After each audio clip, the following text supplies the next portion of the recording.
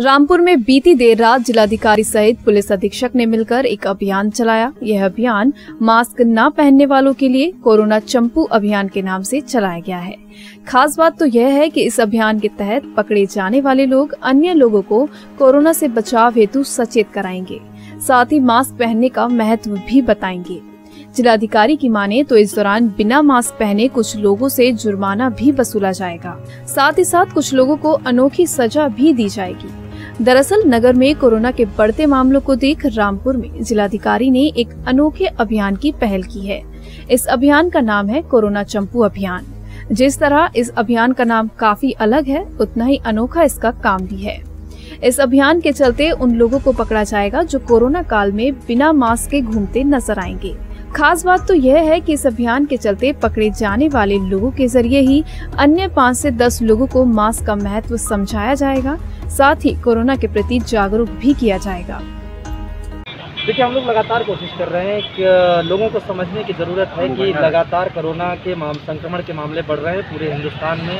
हमारे प्रदेश में जनपद में भी बढ़ रहे हैं, रोज़ पॉजिटिव केसेज आ रहे हैं। और इसमें, इससे बचने का सिर्फ़ तीन ही बेसिक उपाय है कि एक दूसरे से दूरी बनावें मास्क लगातार पहने, चेहरा किसी भी तरीके से ढके, बाहर जब भी निकले तो बिना ज़रूरत बाहर ना निकलें और हाथ हमेशा धोते रहें। आज हमने ये तय किया कि जो लोग बिना मास्क के पकड़े जाएँगे, वो लोग खुद तो मास्क लगाएँगे, दूसरे लोगों को समझाएँगे चौराहे पे खड़े होकर कि देखो मास्क पहनना कितना ज़रूरी है और बाकी लोग वो पुलिसिंग का काम हमारे लिए करेंगे। तो कहीं पे किसी भी तरीके का फ़ंक्शन या कोई धरना प्रदर्शन या इस तरीके के फोटोग्राफ्स अगर अखबार में भी छप जाते हैं और उसमें जो चीज़ें बताई गई हैं, उसका वैल्यूशन होता है, उस पर कार्रवाई करेंगे। हमने परसों से लेकर आज तक लगातार कार्रवाई की है।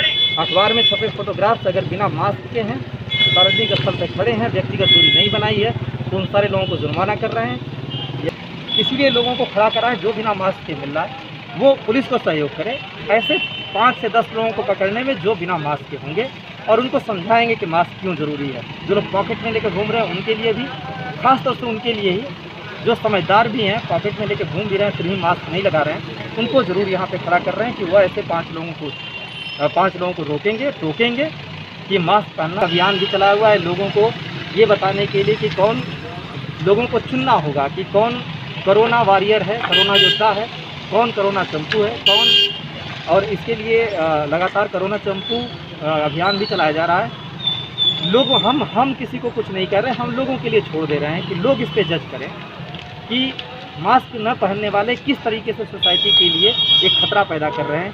जब चाहे कहीं भी रहें, अपने शहर से जुड़े रहें, चाहे कहीं भी रहें, अपने शहर से जुड़े रहें और अपने शहर की हर खबर के लिए डाउनलोड करें लोकल लाइव ऐप।